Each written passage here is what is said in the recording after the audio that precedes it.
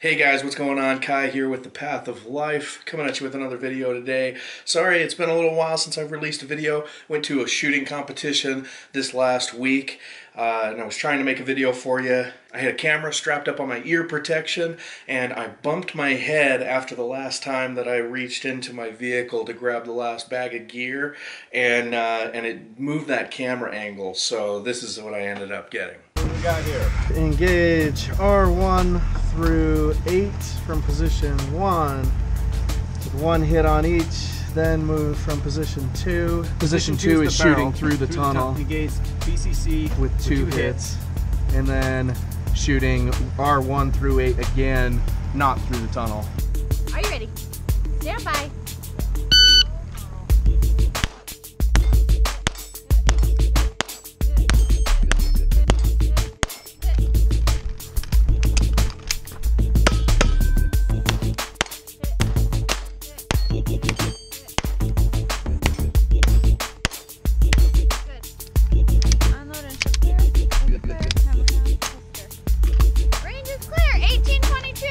So yeah, a bunch of garbage. Basically, I didn't feel it necessary to post it, but uh, it is what it is. We'll get you on, the next competition for sure. A couple of shout outs before I get going too far into this video here.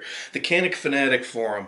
Talk about a platform for having some good conversation with some great people on some awesome guns.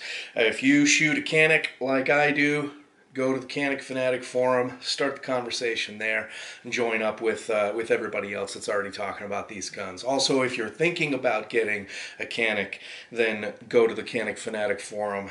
Everything, including problems that people are having, solutions to those problems, modifications, uh, options for these guns, all on there. Uh, they're not a sponsor of this video, but I feel it necessary to shout them out as I get a lot of cool ideas from them. Next people I want to shout out Smoky Mountain Concealment, the maker of my competition holster.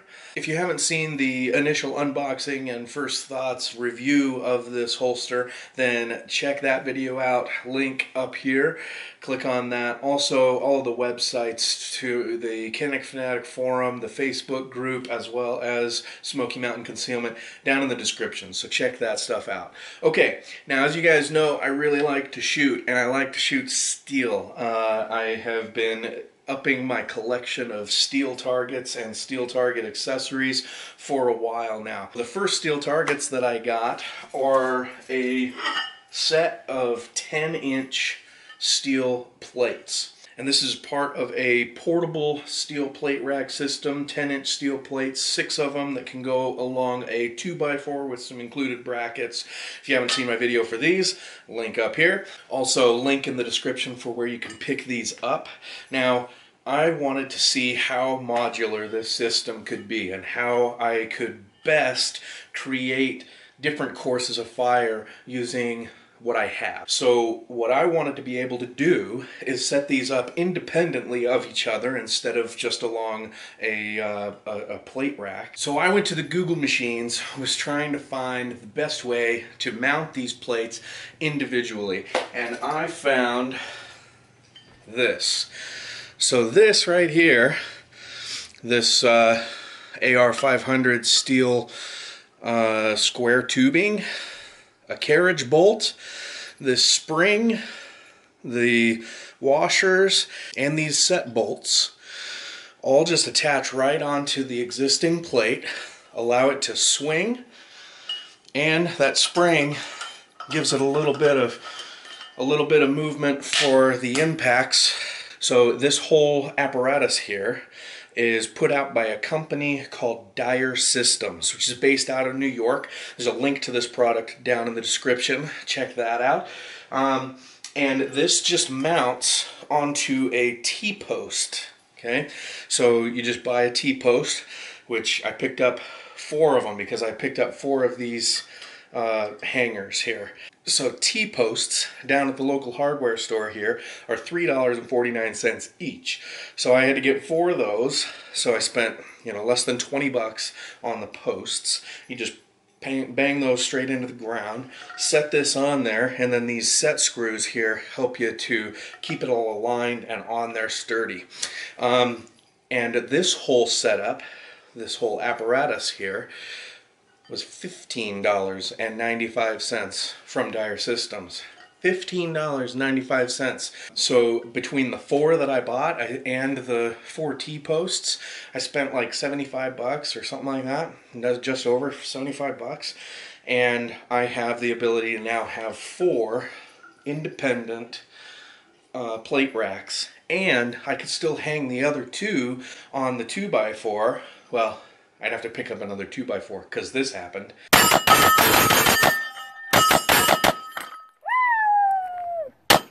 Yeah, that was a good time. But I could hang two of the plates on the 2x4. I could hang them really close together to have two close together targets. I could hang one on each end and get them eight feet apart from each other. So basically, this gives me a lot of ability to create whatever type of firing stage I want.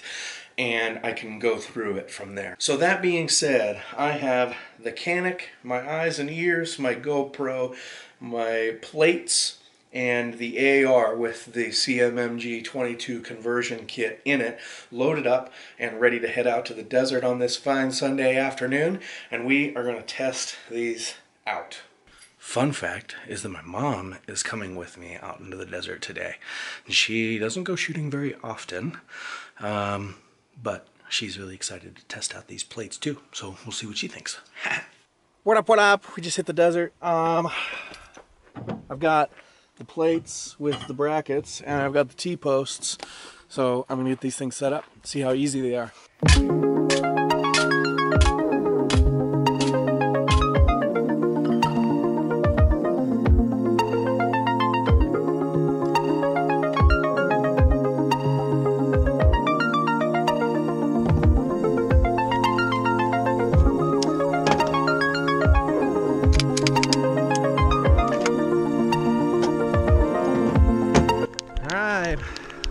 These bad boys out. So first, so this is gonna be my stop plate, and I'm gonna be required to hit it twice.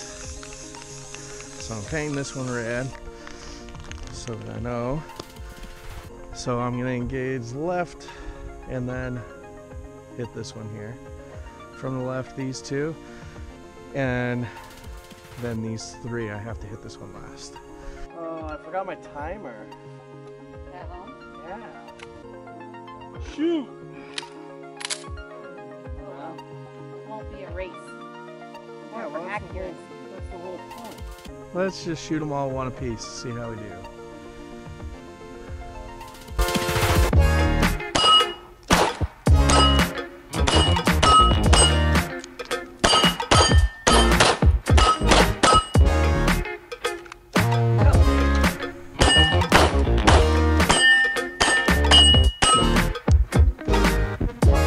Run.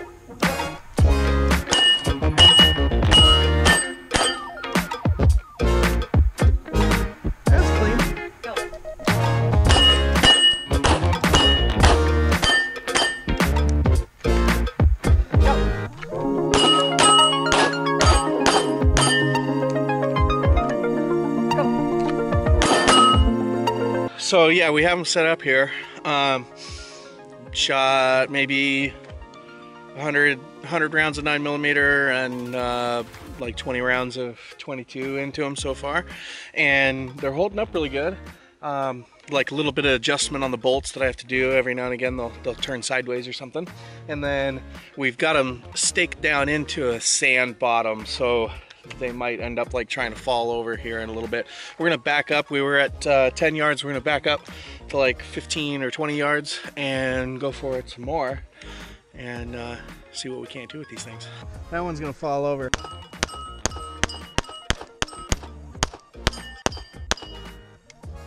Ah, man down. It's really sandy right here. So you just have these little set screws on the back, and that controls the kind of side to side movement of it. So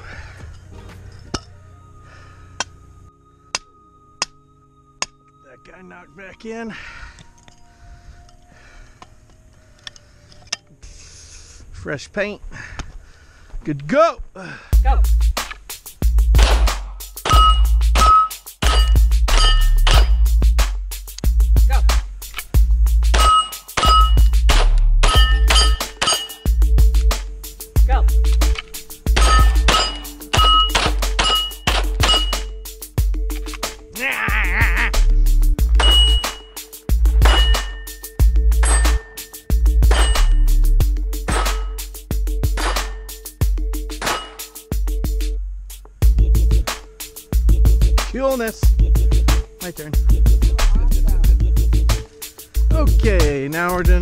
Gonna do this one.